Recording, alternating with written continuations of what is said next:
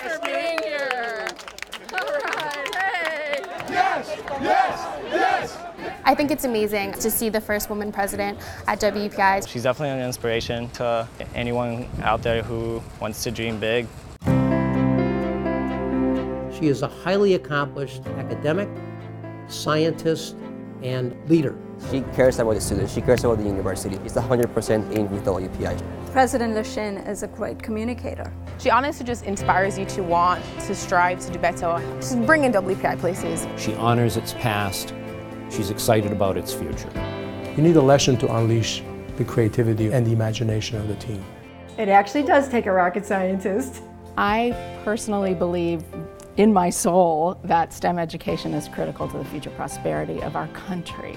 The kind of work done at institutions like WPI, which are really um, incubators of innovation, is all about advancing our country and advancing people around the world. But WPI does STEM education the way it should be done in real communities around the planet, teaching our students how to make a real difference.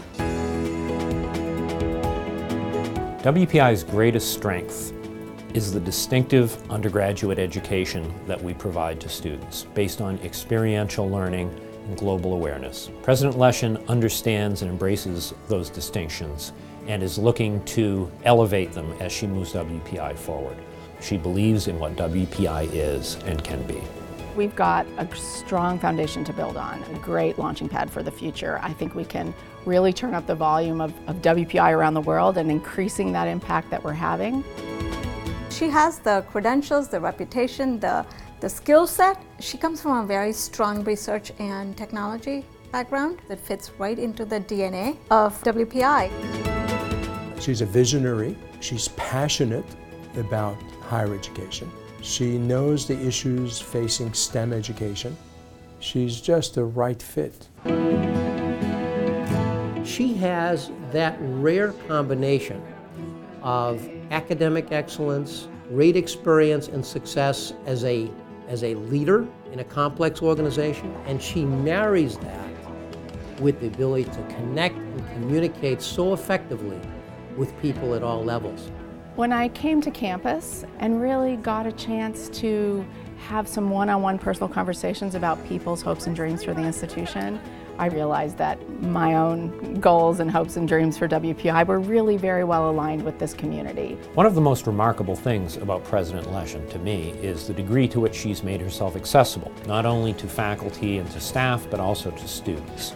Well, universities are communities, really, when it comes down to it. As the president of WPI, I feel like it's my responsibility to model the kind of community engagement that I expect of all of us. She clearly is so engaged and excited about being here that not only will she help us be known nationally, I think, you know, intergalactically. I like to think of WPI as a technological university with a human heart and a global reach because our students are all about STEM. They're techno nerds like me. We are her people. So I think she feels like she fits in, and we feel like she's one of us.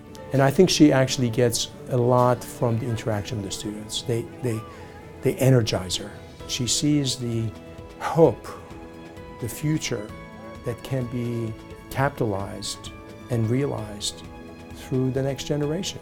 I am somebody who really believes in, in that intersection of education and discovery and exploration and research. I think that WPI has the potential to really make its mark both in the education space and in the discovery space.